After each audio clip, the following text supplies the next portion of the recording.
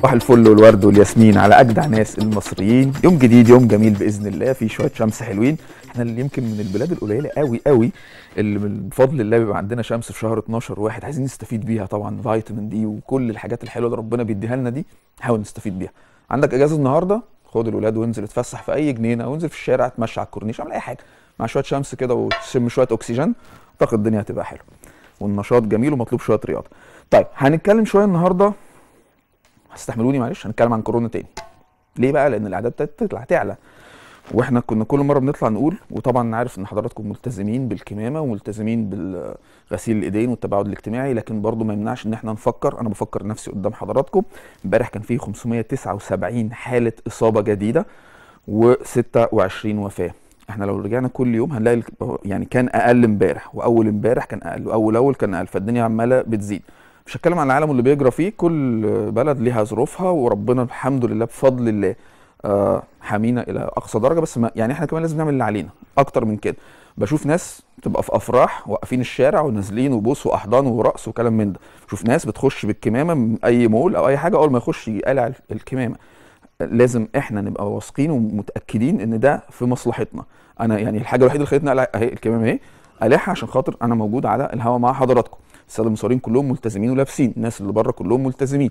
اذا إحنا لازم كلنا نلتزم عشان ربنا يعدينا بإذن الله أعلى معدل وفيات بيبقى في شهر 12 وشهر واحد وده مش كلامي ده كلام وزارة الصحة المصرية اللي أنا بثق فيها جدا جدا جدا. فإحنا عايزين نقلل هذه النسب بإننا ناخد الإجراءات الاحترازية بتاعتنا والوقاية بتاعتنا. المرض لغاية دلوقتي ملوش دواء لكن ليه؟ وقاية فيروس ضعيف طول ما هو بره الجسم. أول ما يخش الجسم يعمل مشاكل وبلاوي. إحنا في غنى عنها. موضوع سهل وبسيط جدا. نعمل طرق الوقاية اللي إحنا عارفينها وحافظينها مش هنقعد نقولها كل شوية.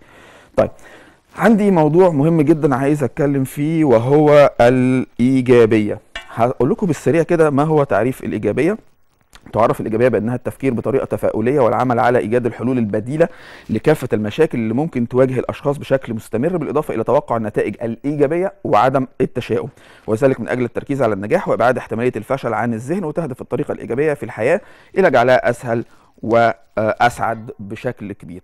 طيب إزاي أبقى شخص إيجابي؟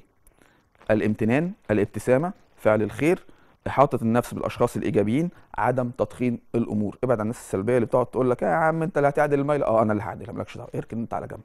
صفات الشخص الإيجابي الانضباط الذاتي نشر الحب الأدب المصداقية التواضع والاحترام. أظن دي حاجات سهلة جدا وإحنا اتربينا عليها ودي عاداتنا وتقاليدنا أصلا في المجتمع المصري. فمش حاجة جديدة علينا إحنا بنعملها أصلا بالفطرة. فربنا يكتبها علينا إن شاء الله تبقى كل حياتنا إيجابية ونبعد عن كل ما هو شر وسوء لينا. طيب فقراتنا النهارده عندنا فقرتين زي ما حضراتكم عارفين الفقرة الأولى هنتكلم فيها عن آه، عالم الجمال وحالات نادرة جدا في آه، عالم التجميل. وهيكون معايا دكتور منير ويليام كبير أطباء جراحة التجميل بإذن الله هيتكلم معايا عن هذه الحالات حالات نادرة جدا في جراحة التجميل. الفقرة الثانية هنتكلم على حاجة مهمة جدا جدا وهي الإشاعات. المصل طلع. ده فيه مش عارف إيه آه مش عارف. ماشي. ها وإشاعات بقى إيه من هنا لبكرة؟ كل الناس شغالة على ال social media كلام من ده بعيد عن المصل. ال- ما يسمى بالربيع العربي. رجعوا من زمان كده كانت بدايته إيه؟ كانت بعض الإشاعات واللعب على آه ترويج بعض الأفكار والحاجات اللي مش صحيحة عشان خاطر يوصلوا للهدف بتاعهم. في دول وقعت وفي دول بفضل الله فضلت ماسكة نفسها. إحنا الحمد لله رب العالمين كنا وبعدين مسكنا نفسنا تاني ورجعنا تاني. الجميل في الموضوع إن الشباب المصري الحمد لله والناس اللي شغالة على ال social media نسبة كبيرة منهم جدا حافظين وفاهمين القصة دي فما بيمشوش ورا الإشاعات بينتقوا المصدر. وده اللي إحنا عايزين نقوله النهارده من حلقتنا انتقي المصدر. ما تسمعش أي حاجة كده وتاخدها وتعمل لها share مين اللي قالها؟ حاتم؟ أنا بثق في حاتم؟ مهما كنت بثق في حاتم. حاتم جايب من المصدر إيه؟ لازم من المصدر أنا بثق فيه. تلفزيون جمهورية مصر العربية رئاسة الوزراء آه، صفحة الرئاسة آه، أي حاجة أنا آه، وزارة الصحة آه، وزارة آه، أي وزارة أي يعني حاجة حكومية واثق من المصدر بتاعي فيها أقدر أعمل لها share زي ما أنا عايز. لو حاجة بقى حاتم ما هو مين حاتم؟ ما- يعني أنت ما تعرفش حاتم. ها؟ ممكن يكون ليه أي توجهات تانية. بيحط لك السم في العسل. فعايزين نركز شوية في حتة المصادر بتاعتنا. ما تعملش share لأي خبر إلا لما تكون واثق مليون في المية من المصدر بتاعك. دي نمرة واحد. دول كتير وقعت. وناس يعني شغلتها إحنا بنسمع كتير عن الجيل الرابع حروب الجيل الرابع والخامس والكلام ده. هو ده اللي بيحصل الزعزعة الإعلام ال social media جزء كبير من الإعلام دلوقتي وبيلعب دور كبير جدا جدا جدا في زعزعة البلاد وأمنها واستقرارها ووقعها كمان. شفنا دول كتير حوالينا لكن بفضل الله الحمد لله إحنا ماشيين يا رب يكملها لنا إن شاء الله على خير وهنكمل كده على طول. الإشاعات نخلي بالنا منها جدا جدا جدا.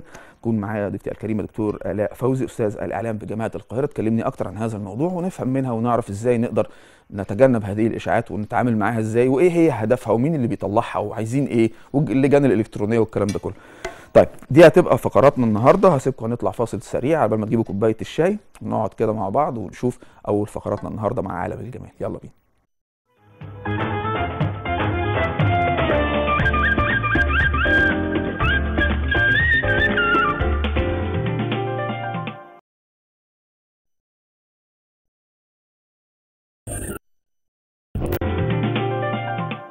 لما تكلم والاغاني من بحر المواويل والاغاني والجمال ده شيء تاني مصر جميلة